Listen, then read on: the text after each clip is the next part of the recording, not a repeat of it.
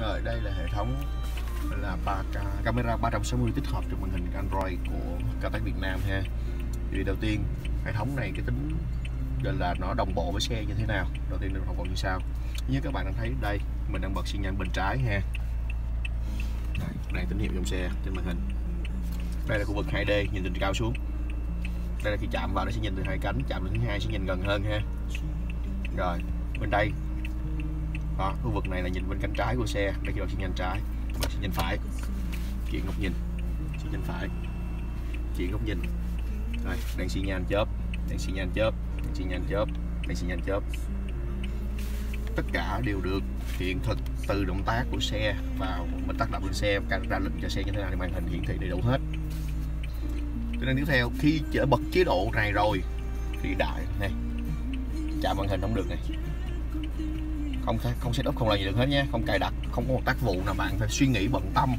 Trong lúc các bạn phải di chuyển hay xin tốc độ xin hành được xin nha.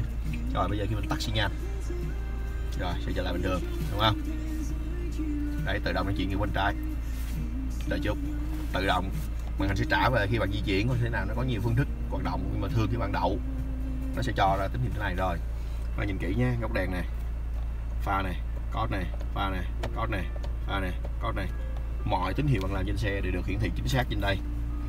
Nha đây pha con, pha con, pha con, pha con, ok. Vậy khi bây giờ mình muốn nhìn góc nhìn đa dạng hơn sao? Đây góc 3D à, ở đây nè bao nhiêu đây là góc nhìn xung quanh 360 độ quanh xe. À. rồi chúng ta không ra. Rồi cái hệ thống này khi các bạn di chuyển, tự xe sẽ quay phía trước và phía sau cùng một lúc. Các bạn không cần làm gì cả, không cần camera hành trình ha. Gắn hệ thống này là không cần camera hành trình. Rồi, bây giờ khi tôi bật ưu tiên thì sao? Ưu tiên. Đây, phía trước xe. Phía sau không? Phía sau xe. Nào hôm nay phía sau xe. Thì mỗi camera có hai chế độ nhìn ha.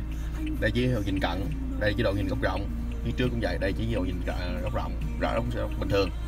Góc rộng cạnh bên. À. rồi.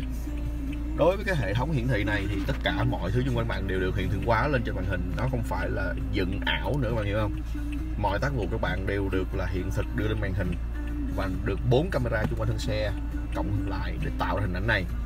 Camera phía trước 178 độ, hai camera hông 178 độ một cái và camera sau 178 độ. Thì là nó cong thế này là vì sao?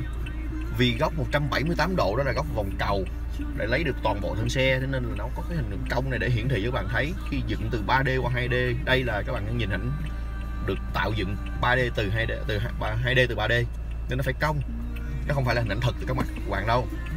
Thì nó chỉ hiển thị lên để như thế, bạn mới hình dung được ờ là xe tôi đang như thế nào. Rồi, bây giờ tôi tắt này trả lại chế độ. Rồi bây giờ tôi đang đậu thế này, tôi muốn ve thì sao? Đây, tôi dạy số ve nha. Vô số ve gài sửa ve đây camera sau. Tôi muốn nhìn đây góc rộng. Tôi muốn nhìn góc rộng góc hẹp. Bấm vô màn hình cái nữa, đây góc hẹp. Lùi. Lùi lùi.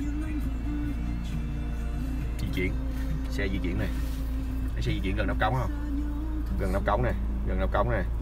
Lên cho nắp cống này, dừng lại này. Rồi, xe tiến lên này. Tiến lên, camera trước. Nhìn nắp cống này nha, đây nắp cống. Trên này. Đây nắp cống không? Nắp cống này đây nắp cống các bạn tiến đến gần nha. Gần che nắp cống camera trước trước vị trí nó tương đồng một bộ camera tốt hay không? Nó phụ thuộc vào rất nhiều tính năng. Không phải chỉ hiển thị đẹp. À, hiển thị đúng và đẹp và hiệu quả và chính xác cho chủ xe. Là còn vấn đề. Ví dụ như nhìn đây tôi thấy cái thùng rác này. Thùng rác ngay bên cạnh cửa xe. Đây.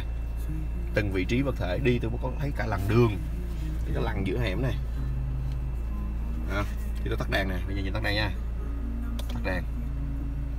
Xe tôi còn hai đèn vàng. Bây giờ đây, đèn vàng.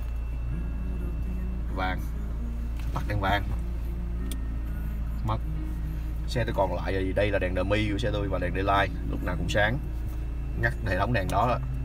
Thì chỉ chuyện duy nhất là tắt máy xe thang máy xe thì tôi phải tắt màn hình. Rồi, tôi không tác động vô khi tôi tắt đèn hết, mọi thứ tự động trả về cái phương án bản đồ trước đó tôi mở.